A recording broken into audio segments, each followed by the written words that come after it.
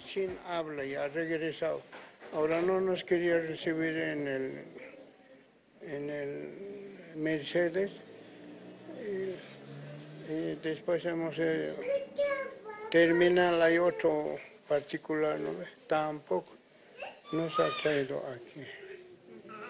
Ahora ya está mejor, ya, ya habla, ya sin hablar estaba. Don Celestino Mamani, quien es su esposo de la señora Teodora, quien padece diabetes, tuvo que peregrinar por los hospitales en La Paz para poder recibir atención médica. Incluso acudió a un curandero. Sin embargo, llegó al hospital de clínicas donde observó la falta de camas en la sala de emergencias de esta clínica, que colapsa constantemente. Sí, había harto de todo clase y no había cama pero menos mal mi señora ha recibido cama, ahí está. Yo tengo seguro, eh, pero el seguro ya no, ya no sirve, estamos comprando todo, todo nos estamos comprando medicina, porque yo una vez este mes roto aquí, el seguro ha atendido todo pues, nada nosotros.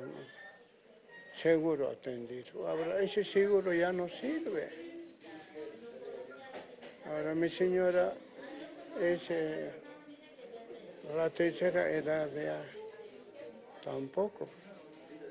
Tenemos que comprar nosotros plata, con plata. Nosotros.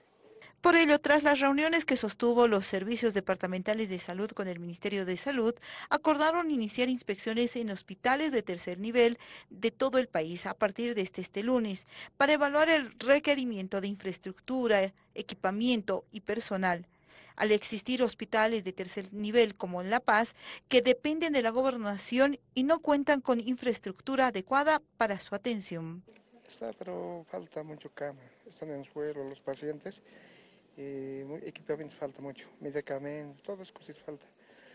Claro, los pacientes aquí están en el suelito, están durmiendo. Mucho el, este que se llama la sala es muy pequeña, deben ampliar un poco. En todos los este, este, salas son ya saturadas de pacientes. Se necesita mayor, este, mayor salas, cambiar ambiente, otros ambientes cambiar, sería hay pacientes en el suelo a veces, ¿no? Ah, sí, sí, sí, este, así es, saturado, pacientes. Especialmente cuando hay algo en fiesta, digamos, sí, saturado, para todos los días había que hartos pacientes en el suelo.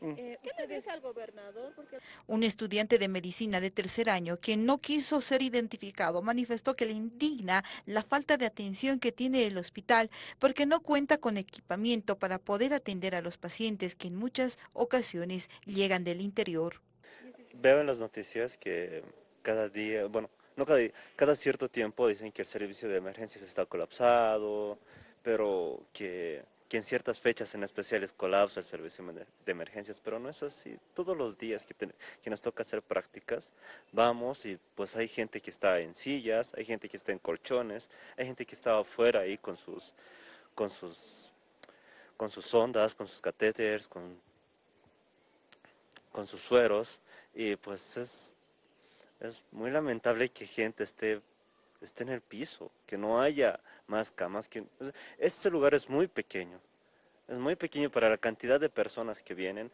para la, eh, y lo que más indigna es que son personas de muy bajos recursos, que no tienen para ir a, otro, otras clínicas. Sí, hay otras clínicas que tienen muchas mejor, mucha mejor infraestructura, mucho mejor equipo, pero no, no tienen esa oportunidad. Recordemos que el Gobierno Nacional de este enero implementará el seguro de salud universal gratuito para cubrir la demanda del 51% de la población que no cuenta con un seguro social gratuito.